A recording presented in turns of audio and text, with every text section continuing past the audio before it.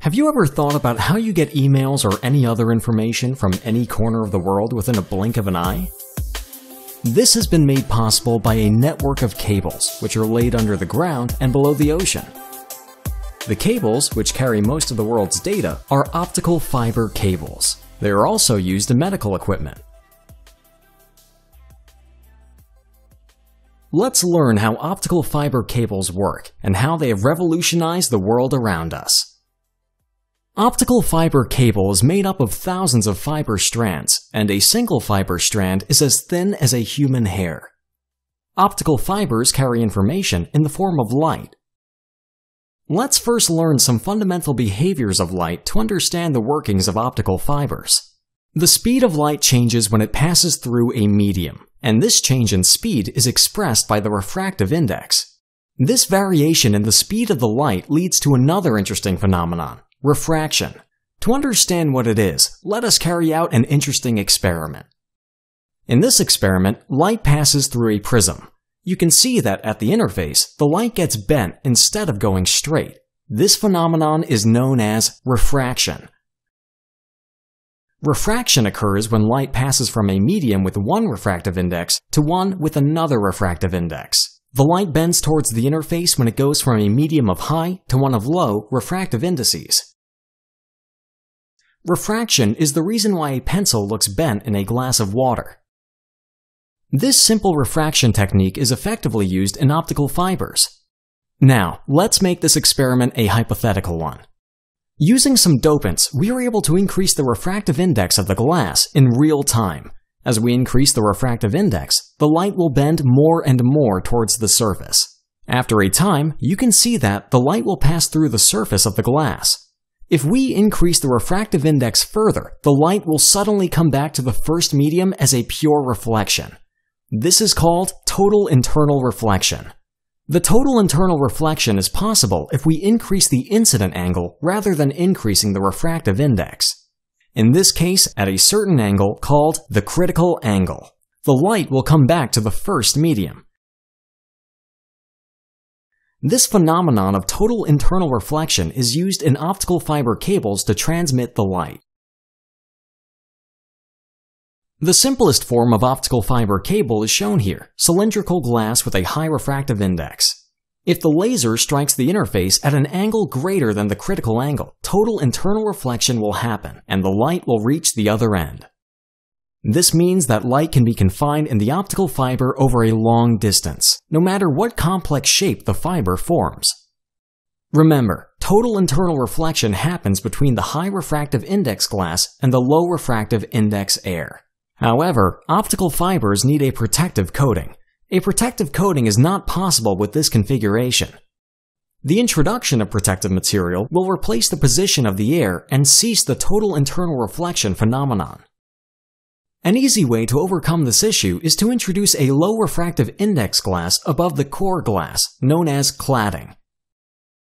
This way, total internal reflection will happen and we'll be able to use a protective layer. Both the core and the cladding use silica as their base material. The difference in the refractive index can be achieved by adding different types of dopants. The optical fiber we have just constructed won't be able to carry signals for more than 100 kilometers. This is due to various losses that happen in the cable. This loss of signal strength is generally called attenuation. Absorption and scattering are the main reasons for signal attenuation. This is why you see amplifiers and cables after a certain distance. They boost the signal strength and allow signals to be transmitted over a long distance. The power required for the amplifier is drawn from nearby sources. Now, back to the main topic. How does the optical fiber transmit information such as phone calls or internet signals? Any information can be represented in the form of zeros and ones. Assume you want to send a hello text message through your mobile. First, this word will be converted into an equivalent binary code as a sequence of zeros and ones. After the conversion, your mobile phone will transmit these zeros and ones in the form of electromagnetic waves. One is transmitted as a high frequency and zero as low frequency wave. Your local cell tower picks up these electromagnetic waves. At the tower, if the electromagnetic wave is of high frequency, a light pulse is generated. Otherwise, no pulse is generated. Now, these light pulses can easily be transmitted through optical fiber cables. The light pulses which carry the information have to travel through a complicated network of cables to reach their destination. For this purpose, the entire globe is covered with optical fiber cables. These cables are laid under the ground and below the ocean. It is mainly the mobile service providers that maintain these underground cables. AT&T, Orange, and Verizon are some of the few global players who own and maintain the submarine cable network. A detailed cross-section view of an undersea cable is shown here. You can see that only a small portion of the cable is used for holding the optical fiber. The remaining area of the cable is a mechanical structure for protection and strength. Now, the question is, where does the amplifier get power from under these deep oceans? Well, for this, a thin copper shell is used inside the cable, which carries electric power along the cable so that the amplifiers can be powered. This whole discussion simply means that if optical fiber cables do not reach a part of the globe, that part will be isolated from the internet or mobile communications. If we compare optical fiber cable to traditional copper cable, the optical fiber cable is superior in almost every way. Fiber optic cables provide larger bandwidth and transmit data at much higher speeds than copper cables. This is because the speed of light is always greater than the speed of electrons.